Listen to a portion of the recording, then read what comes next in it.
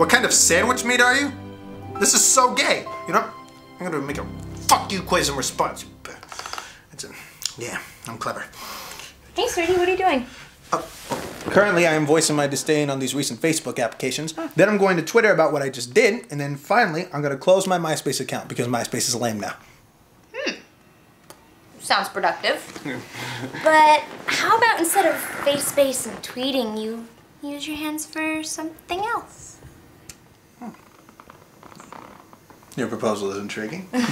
However, I'm going to have to consult with the M8B first. The what? The Magic 8 Ball. Duh.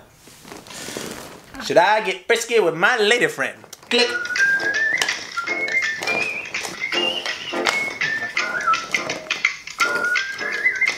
Jordan!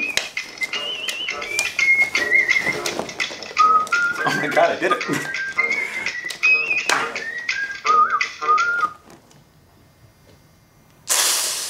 No dice.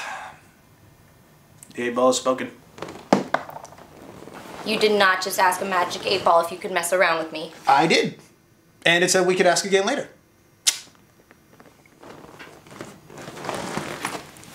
Love you. Oh, honey, can you take out the trash for me, please? I don't know, can I?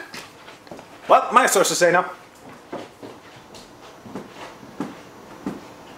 Me and you, and you and me, no matter how they toss the dice, claim this. Hey, sweetie.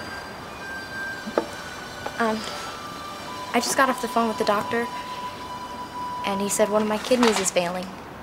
And unless you give me one of yours, I'm done for. So, uh, what do you say? Wow. I'm gonna have to consult the eight ball. That was just a test to see if you would bring out that stupid ball, and you did. So you failed the aforementioned test. Ow! I've had it up to here with you and that stupid ball. You have to make a choice here now. It's me or the eight ball.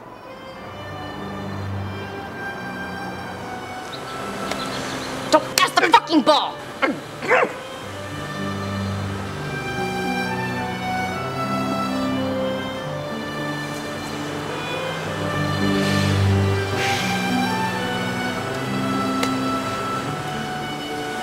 Sweetie.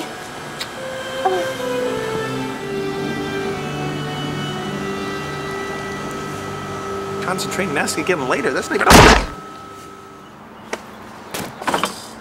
Why didn't you ask the magic eight ball how hard it's gonna be to piss when your balls are swollen?